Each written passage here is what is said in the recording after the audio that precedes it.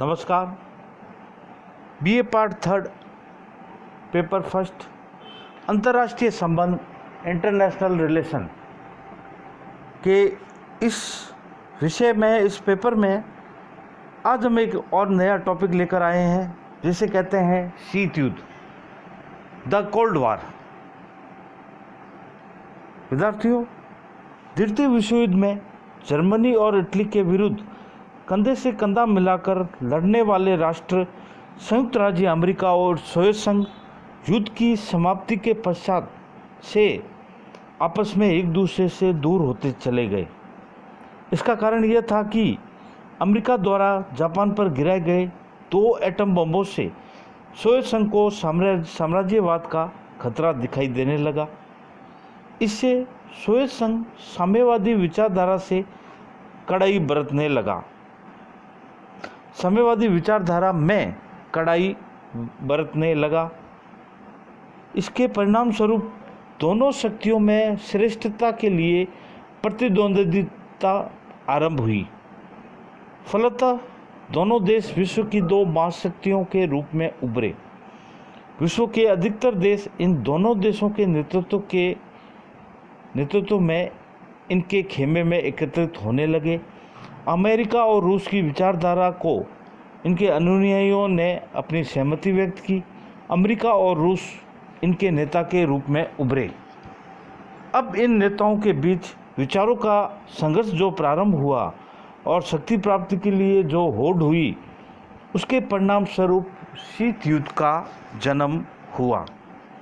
अब हम शीत युद्ध के अर्थ के बारे में देखें तो शीत युद्ध शब्द का प्रयोग पहली बार पहली बार अमेरिका के राजनेता बर्नार्ड बारूच ने किया, परंतु प्रोफेसर लिपमैन ने इसे लोकप्रिय बनाया।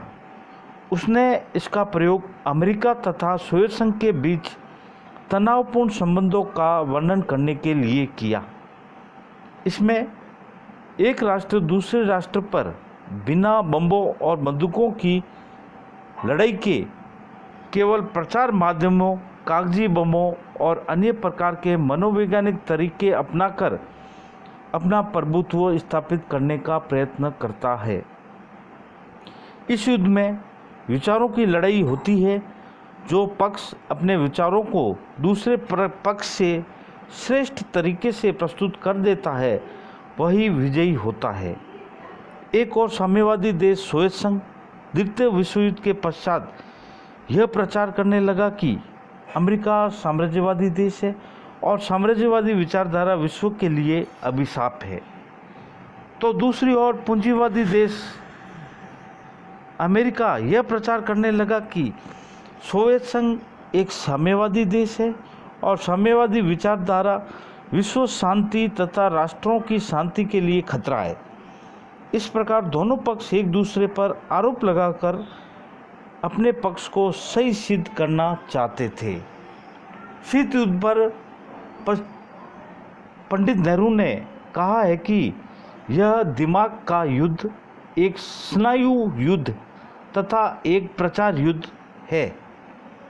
शीत युद्ध वास्तव में युद्ध के नरसंहारक दुष्परिणामों से बचते हुए युद्ध द्वारा प्राप्त होने वाले समस्त उद्देश्यों को प्राप्त करने का एक नवीन अस्त्र है। यह एक कूटनीतिक युद्ध है, जिसमें विपक्षी देशों को विश्व राजनीति से अलग थलग करने का प्रयास किया जाता है। तो यह हो गया शीत युद्ध का अर्थ। अगर अपनी भाषा में कहें तो हथियारों और बंदूकों के बिना जो प्रचार के माध्यम से एक दूसरे पर आरोप और प्रति आरोप लग, लगाकर किसी को नीचा दिखाना के माध्यम से जो युद्ध लड़ा जाता है, उसे शीत युद्ध कहते हैं, उसे कहते हैं कोल्ड वार। अब अगर हम शीत युद्ध की परिभाषा देखें तो जोसेफ फ्रेंकल के शब्दों में, शीत युद्ध को दो बड़े राज्यों के बीच विद्यमान गहरी प्रतियोगिता अर्थात चालों और प्रतिचालों का सिलसिला माना जा सकता है। हार्टमैन कहता है कि शीत युद्ध का अर्थ राष्ट्रों के मध्य तनाव की उस स्थिति से है जिसमें एक पक्ष दूसरे पक्ष को कमज़ोर करने तथा अपनी स्थिति को सुदृढ़ करने का प्रयत्न करता है, परंतु यह वास्तविक युद्ध की स्थिति से भिन्न है। फिर पंडित जवाहरलाल नेहरू कहता है कि शीत युद्ध पुरातन पुरातन शक्ति संतुलन की अवधारणा का नया रूप है। यह दो विचारधाराओं का संघर्ष ना होकर दो महाशक्तियों का आपसी संघर्ष है। फिर डी एफ़ फ्लेमिंग के शब्दों में, शीत युद्ध एक ऐसा युद्ध है जो युद्ध क्षेत्र में नहीं, बल्कि मनुष्य के मस्तिष्क में लड़ा जाता है। यह तथा इसके द्वारा उसके विचारों पर नियंत्रण स्थापित किया जाता है। इस प्रकार हम कह सकते हैं या कहा जा सकता है कि शीत युद्ध वास्तविक युद्ध ना होकर युद्ध का वातावरण होता है। शीत युद्ध का रण क्षेत्र युद्ध का मैदान ना होकर मनुष्य का मस्तिष्क होता है। यह हथियारों से ना लड़ा जाकर प्रतियोगिता, घृणा तथा दूसरे को नीचा दिखाने आदि साधनों से लड़ा जाता है। तो यह हो गया शीत युद्ध का अर्थ और उसकी उसकी कुछ परिभाषाएँ जो कुछ विचारकों द्वारा की गई है। अब हमारे पास में दूसरा टॉपिक आता है, शीत युद्ध के कारण। शीत युद्ध किस कारण हुआ? तो उसमें पहला आता है, ऐतिहासिक कारण। पूंजीवादी पश्चिमी देश 1917 के बॉल्शेविक क्रांति के समय से ही सोवियत संघ के विरुद्ध थे, क्योंकि साम्यवाद एक विश्वव्यापी आंदोलन था, जिसका अंतिम उद्देश्य पूंजीवाद को समाप्त करके सारे विश्व में साम्यवाद का प्रसार करना था। सोवियत संघ की सरकार की स्थापना हो जाने के बाद भी पश्चिमी राष्ट्रों ने उसे मान्यता देने में बहुत आनाकानी की थी। ब्रिटेन से 1924 में तथा अमेरिका से 1933 में साम्यवादी सरकार को मान्यता मिल सकी। पश्चिमी देश हिटलर को सोवियत संघ पर आक्रमण करने के लिए प्रेरित करते रहे। तो यह भी कुछ कारण रहा है, ऐतिहासिक कारण रहा है शीत युद्ध की स्थापना का। फिर दूसरा बिंदु आता है, वैचारिक मतभेद। विद्यार्थियों, द्वितीय विश्व युद्ध के उपरांत विश्व में साम्यवादी और पूंजीवादी दो विचारधाराएँ उभरी और इन दोनों के विचारों में बहुत मतभेद पनपा। अमेरिका एक पूंजीवादी, उदार तथा लोकतांत्रिक विचारों का समर्थक राष्ट्र बना, जबकि रूस साम्यवादी व्यवस्था तथा एक दलीय व्यवस्था का समर्थक राष्ट्र। साम्यवाद का उद्देश्य मार्क्स ने पूंजीवाद की समाप्ति घोषित किया।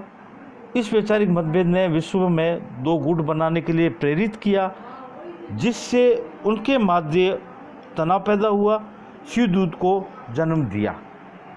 तीसरा इसका मुख्य कारण अमेरिका द्वारा अणु बम का प्रयोग। अमेरिका अपनी शक्ति बढ़ाने के लिए एक शक्तिशाली खोज अणुबम पर अनुसंधान कार्य तथा उसका परीक्षण बहुत पहले से कर रहा था। अमेरिका ने इसकी जानकारी ब्रिटेन को तो दी, लेकिन सोवियत संघ से इसका रहस्य छिपाया। इसी प्रकार जापान के हिरोशिमा और नागासाकी पर परमाणु बम छोड़ते समय अमेरिका ने ब्रिटेन से तो परामर्श किया, परंतु सोवियत संघ की पूर्ण अवहेलना की। अमेरिका ने जापान पर बम गिराकर रूस को यह स्पष्ट कर दिया कि सर्वश्रेष्ठता अमेरिका में निहित है और रूस की उसे आवश्यकता नहीं, बल्कि रूस को अमेरिका की आवश्यकता है। उसके बाद चौथा बिंदु जो आता है, अमेरिका विरोधी प्रचार। तो विद्यार्थियों, शीत युद्ध के उत्पन्न के कारण में रूसी सरकार प्रचार माध्यमों माध्यमों ने अमेरिका के विरुद्ध प्रचार किया। वे अमेरिका की नीतियों की खुलकर आलोचना करते थे। अमेरिका की आलोचना करते हुए रूस के प्रतिनिधि विशेंस्की ने संयुक्त राष्ट्र संघ में कहा, कुछ देश, देशों जिनमें अमेरिका प्रमुख है कि युद्ध प्रियता और विस्तारवादी नीतियों से जो युद्ध की मनोवृत्ति उठी है वह फैलती जा रही है। इसके अतिरिक्त रूसी समाचार पत्र तास और इजावेस्तिया ने अमेरिका के विरुद्ध विश्व उगलने की नीति जो अपनाई, वह भी शीत युद्ध के कारण का उत्पन्न के कारण रहा। उसके बाद आता है पांचवा बिंदु, रूस द्वारा याल्टा सम्मेलन की उपेक्षा। फरवरी उन्नीस सौ पैंतालीस में याल्टा सम्मेलन में चर्चिल रूजवेल्ट तथा स्टालिन ने भाग लिया। इस सम्मेलन में पोलैंड, चीन, मंगोलिया और पूर्वी जर्मनी से संबंधित कुछ निर्णय लिए गए। रूस ने कुछ समय बाद ही इस सम्मेलन के निर्णय को तोड़ना शुरू कर दिया और फिर रूस के ऊपर इस संबंध में कुछ आरोप लगाए गए थे। जैसे पहला आरोप है, पोलैंड में सोवियत हस्तक्षेप। पोलैंड में सोवियत संघ द्वारा संरक्षित ल्यूबिनान शासन और पश्चिमी देशों द्वारा संरक्षित लंदन शासन के स्थान पर स्वतंत्र और निष्पक्ष निर्वाचन पर आधारित एक प्रतिनिधियात्मक शासन स्थापित करने का निर्णय लिया।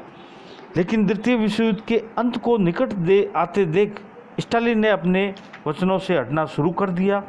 उसने अमेरिका और ब्रिटिश प्रेक्षकों को पोलैंड में प्रवेश करने की अनुमति नहीं दी तथा पोलैंड की जनतंत्रवादी पार्टियों को मिलाने की कार्रवाई शुरू कर दी।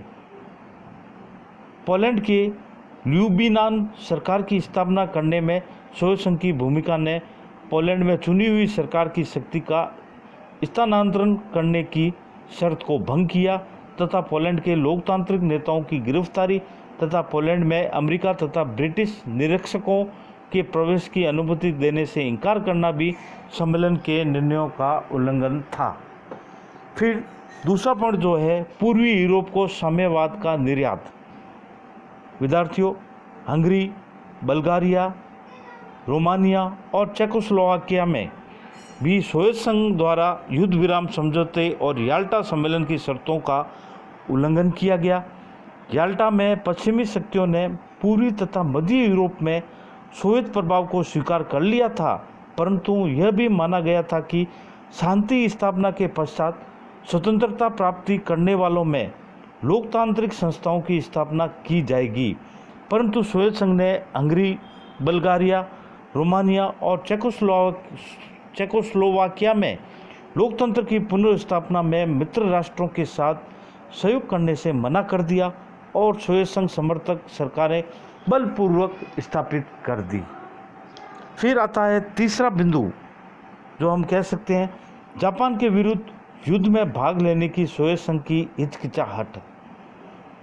जापान के विरुद्ध युद्ध में भाग लेने तथा साइबेरिया के हवाई अड्डों को मित्र राष्ट्रों द्वारा प्रयोग करने की अनुमति देने में सोवियत संघ ने हिचकिचाहट दिखाई।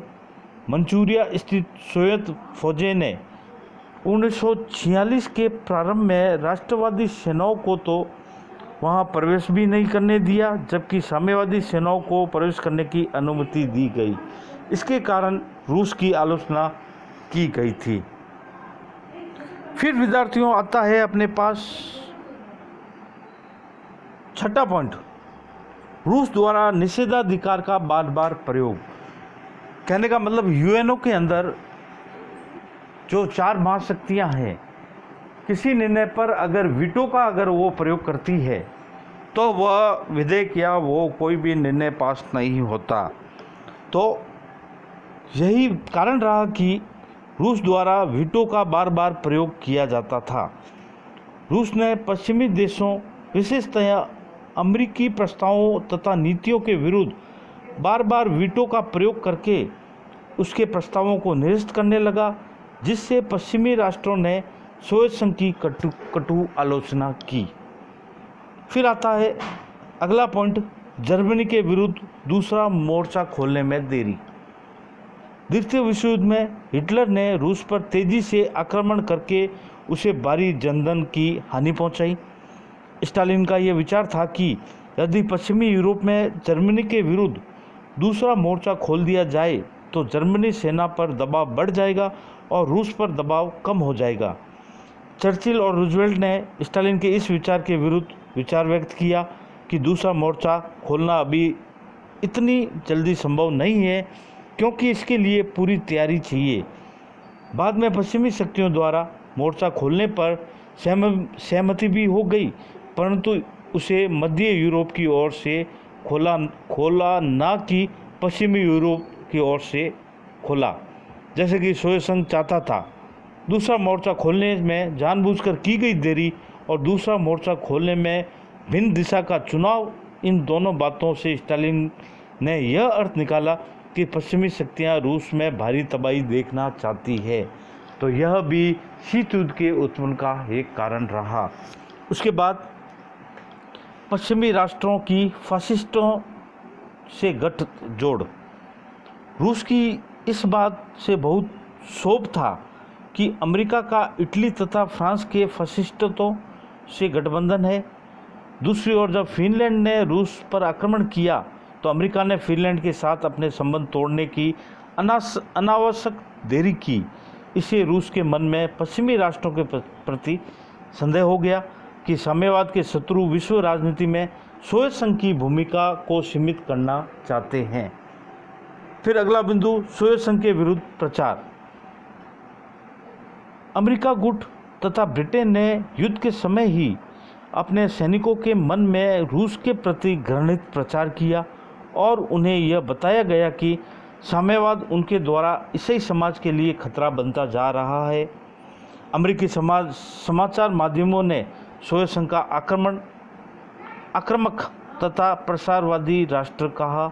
चर्चिल ने भी रूस की व्यवस्था को तानाशाही व्यवस्था बताकर उसकी आलोचना की। इससे शीत युद्ध के कारणों का बीजारोपण हुआ। फिर अगला बिंदु, शस्त्रों की बिक्री। रूस तथा अमेरिका दोनों ही राष्ट्र अपने हथियारों की बिक्री विश्व बाज़ार में करते हैं। ये दोनों राष्ट्र ही अस्त्र शस्त्रों के बड़े व्यापारी हैं। इस व्यापारिक प्रतिस्पर्धा से भी शीत युद्ध को बढ़ावा मिलता है। फिर राजनीतिक प्रभुत्व अमेरिका और रूस दोनों महाशक्तियाँ अपने अपने राजनीतिक प्रभुत्व के प्रसार के लिए एक दूसरे के विरुद्ध नए नए तरीके अपनाती रहती है। एक दूसरे के विरुद्ध तर्क देता है, जिससे शीत युद्ध चलता रहे। फिर अगला बिंदु आता है इसके उत्पत्ति के कारण में उपनिवेशों में राष्ट्रवादी सम्मेलन। विद्यार्थियों द्वितीय विश्व युद्ध काल में विभिन्न उपनिवेशों के निवासियों द्वारा ब्रिटेन, फ्रांस तथा अमेरिका आदि साम्राज्यवादी विदेशी सरकारों के विरुद्ध राष्ट्रवादी आंदोलन छेड़े गए थे। सोवियत संघ की इन आंदोलनकर्ताओं के साथ सहानुभूति भी थी। यह भी एक उत्सित युद्ध की उत्पत्ति का कारण रहा। फिर उत्तरी ईरान से फौजें हटाने में, हटाने से सोवियत संघ का इनकार। सन 1942 के समझौते के अनुसार, जर्मनी के आत्मसमर्पण के छः माह के अंदर सोवियत संघ तथा पश्चिमी शक्तियों ने अपनी फौजें हटाना स्वीकार कर लिया था। यद्यपि युद्ध की समाप्ति पर ब्रिटेन और अमेरिका ने अपनी सेनाएँ दक्षिणी ईरान से हटा ली, परंतु सोवियत संघ ने अपनी सेनाएँ हटाने से मना कर दिया। इससे ईरान में विद्रोह हो गया तथा ईरान को सोवियत संघ के साथ संधि करने के लिए तथा 25 वर्षों तक उत्तरी ईरान के तेल साधनों पर सोवियत संघ को अधिकार देने के लिए बाध्य होना पड़ा। यह समझौते के बिल्कुल विपरीत था, इसलिए पश्चिमी शक्तियों ने इसका कड़ा विरोध किया। बाद में संयुक्त राष्ट्र संघ के हस्तक्षेप के बाद सोवियत संघ ने ईरान से अपनी सेनाएँ हटाई। फिर अगला बिंदु जो आता है, वह है सोवियत संघ का यूनान पर दबाव। उन्नीस सौ चौवालीस के एक समझौते के अनुसार यूनान पर ब्रिटेन का अधिकार क्षेत्र स्वीकार कर लिया गया। द्वितीय महायुद्ध में ब्रिटेन की स्थिति निर्बल होने पर उसने यूनान से अपने सैनिक अड्डे समाप्त करने की घोषणा कर दी, जिससे यूनान की शक्ति शून्य प्रदेश को भरने के लिए सोवियत संघ की प्रेरणा से अल्बानिया, यूगोस्लाविया, बल्गारिया आदि द्वारा यूनानी कम्युनिस्ट छापामारों को परंपरागत राजतंत्रीय शासन उखाड़ने के लिए, उखाड़ने के लिए सहायता देना प्रारंभ कर दिया। इसको रोकने के लिए अमेरिका ने ट्रूमैन सिद्धांत, जिसे अपन कह सकते हैं अमेरिका द्वारा यूनान और टर्की के आर्थिक सहायता देना तथा मार्शल योजना, जिसमें अमेरिका द्वारा यूरोप को पुनर्निर्माण करना के द्वारा हस्तक्षेप किया, जिससे रूस और अमेरिका अप्रत्यक्ष रूप से एक दूसरे के विरोधी बन गए। फिर पंद्रहवा बिंदु इसकी उत्पत्ति के कारण का आता है सोए संघ द्वारा टर्की को वश में करने का प्रयत्न। विद्यार्थियों, युद्ध के पश्चात सोवियत संघ ने टर्की पर टर्की पर टर्की के कुछ क्षेत्रों को सोवियत संघ के हस्तांतरण करने की मांग रखी। यह बासफेरस में अपना सैनिक अड्डा बनाना चाहता था। मतलब रूस बासफेरस में अपना सैनिक अड्डा बनाना चाहता था। टर्की तथा अमेरिका ने इसका विरोध किया। अमेरिकी राष्ट्रपति ट्रूमैन ने ट्रूमैन सिद्धांत दिया, जिसके अनुरूप उन सभी राष्ट्रों को जो अपनी इच्छा अनुसार सरकार बनाने के लिए संघर्षरत थे, सब प्रकार की सहायता देने का वादा किया। अमेरिका ने यूनान और टर्की को इसके आधार पर आर्थिक और सैनिक सहायता प्रदान की, जिससे शीत युद्ध को और अधिक बढ़ावा मिला। फिर आता है सोवियत संघ का जर्मनी पर दबाव। पश्चिमी शक्तियों का मत था कि सोवियत संघ जर्मनी पर मित्र राष्ट्रीय सेनाओं के नियंत्रण तथा क्षेत्र के बारे में युद्धकालीन समझौते को जानबूझकर भंग कर रहा है। जर्मनी के संबंध में पश्चिम शक्तियों ने सोवियत संघ की आलोचनाएँ की और उन्होंने कहा कि सोवियत संघ जर्मनी पर दबाव बना रहा है। फिर नेक्स्ट पॉइंट आता है सोवियत संघ का अपर्याप्त पश्चिमी सहायता। विद्यार्थियों सोवियत संघ का यह विचार था कि जर्मनी के आक्रमण के कारण उसे काफ़ी हानि उठानी पड़ी है। इसलिए पश्चिमी देश उसे आक्रमण का सम्मान करने, सामना करने के लिए पर्याप्त सहायता दे।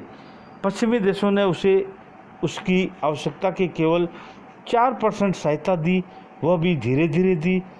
इसको रूस ने पश्चिमी देशों द्वारा जानबूझकर उसे कमज़ोर करने की नीति माना जो भी शीत युद्ध के उत्पन्न होने का एक कारण रहा।